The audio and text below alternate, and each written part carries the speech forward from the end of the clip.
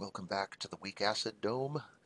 They finally do something different with this formula. We've been working with this, Ka equals H3O concentration squared over the original concentration of the acid.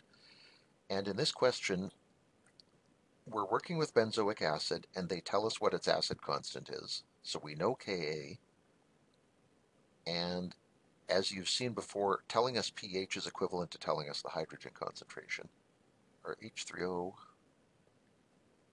is going to be 10 to the minus pH, so 10 to the minus 3.5. I I almost know what that is, but I'm not sure enough to say it. 3.16 times 10 to the minus 4 moles per liter. Okay, and they want the original concentration of the solution. So we're trying to solve for the acid concentration down here. We have 6.3 times 10 to the minus 5 for our Ka equals 3.16 times 10 to the minus 4 squared over x, the concentration of the acid. And we're trying to solve for the acid concentration, unsurprisingly.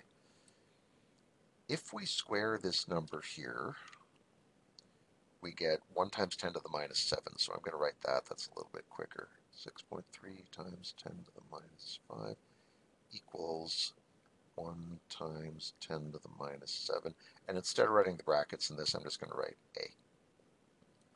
Make this flow a little nicer. So if we want to solve for A, we're really in trouble if our A is in the denominator like this. So the move to get rid of that is generally multiply by A on both sides of your equation.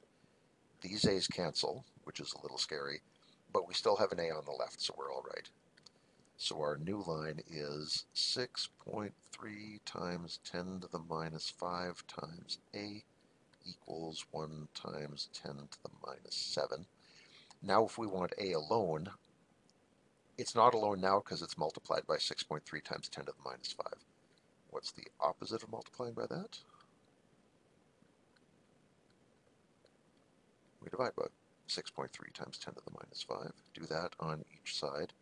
These on the left cancel, leaving A alone.